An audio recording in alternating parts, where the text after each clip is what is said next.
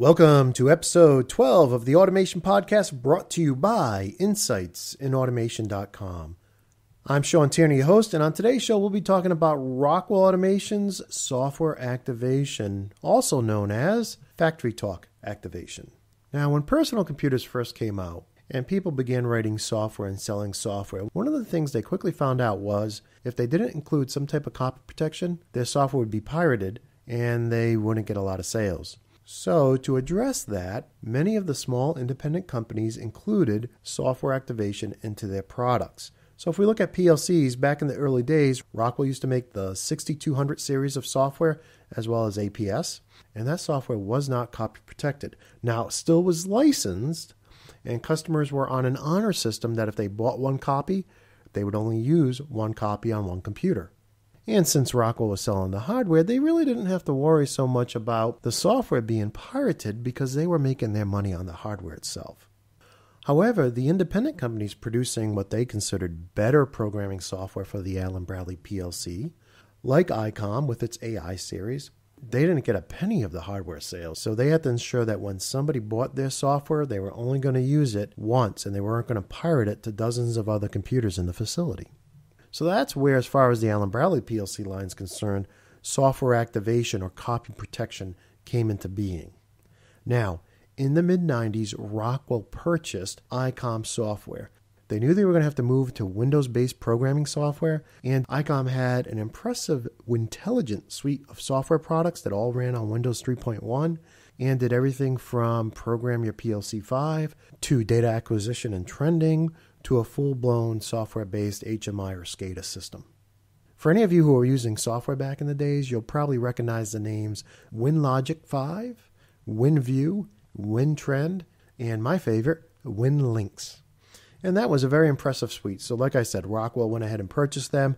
They merged them in with their own Allen Bradley software line, and they adopted the copy protection mechanism that ICOM was using at the time a master floppy disk. Now, the way a master floppy disk works is when you get the floppy disk, you install it into your computer, and then you run a command on the disk called evmove, and that creates a hidden file on your root drive, which contains the super secret code that allows the software to work. Over the years, two things became apparent. Number one, people were figuring out how to copy the floppy disks. Number two, floppy disks were harder to come by because most companies were moving their media to CD ROMs. Now, at this point, there's an interesting rumor I heard from a couple different Rockwell people. Don't know if it's true, but I'll share it here because it's actually kind of interesting. So, as the story goes, somebody on the west coast of America was making copies of floppy disks and selling them online. And Rockwell sued that person, saying, That's our software. You cannot copy it and resell it. And apparently, a liberal judge said, Hey, Rockwell, your copy protection measures are so pitiful that we're going to allow this guy to do it. We're throwing your case out of court.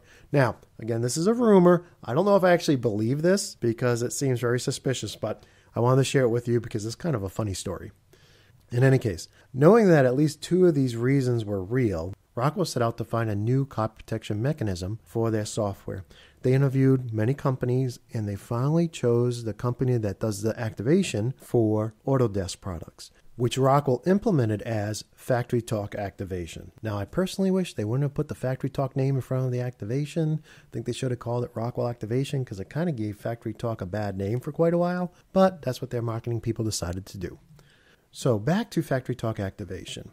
The way it works is not unlike a Microsoft products. So, if you buy a copy of Windows XP and you go to install it on your brand new hard drive, at the end of the installation, you'll be asked to activate the product. If you don't activate Windows XP, you'll get a grace period. It'll run for a number of days without any issue. But eventually, for it to run at normal full capacity, you will have to activate it. Now, with Microsoft, you can either activate it online, which is by far the easiest, or you can call them and read back and forth these very long hexadecimal numbers. Personally, I prefer to activate it online. I type in my product key off the back of the CD case or from the bottom of your laptop where there's typically a sticker, and it'll activate and you're good to go. Now, with the Rockwell system today, you actually have several means of activating your software. Again, you can activate it online, which is the easiest. You can also activate it over the phone, which is the most difficult. Or you can actually activate it via email or via chat or via fax. And you can even activate it from a separate PC which has internet access and then just move the activation file to the PC that does need that activation. Now, how does the activation work? So, when you buy the software, you get a serial number and a product key. And you'll need both of those with any of the activation methods to get your activation file, which is just a text file that ends in .lic. When you get the text file, you just put it in the right directory, and then your Factory Talk activation software will find that file and activate your software. Now, like Windows, if you install your Rockwell software, but you don't have an activation, all packages now have a seven day grace period. So you can run the software full blown for seven days without an activation file. The only nuisance is you'll get a pop up telling you that you're in grace mode and that you don't have an activation file. After the seven days, most packages won't run, although many of the view packages like RSView32, Factory Talk View ME, and Factory Talk View SE will run in a two hour demo mode. If you need to use the software without buying it for more than seven days, Rockwell does offer like a try before you buy program where you can request from your local Rockwell office or local Rockwell authorized distributor a 30 day temporary license that they'll email you and will give you 30 days to actually use the software, no charge. The hitch is the temporary activation system is designed so that a single customer can only get a temporary activation on a particular product once. So every 30 days, you just can't request another temporary activation for, let's say, RS Logix.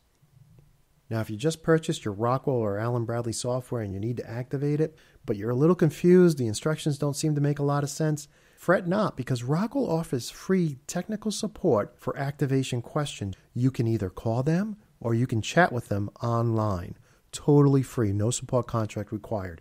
Even if the software is five, ten years old, they're still going to help you.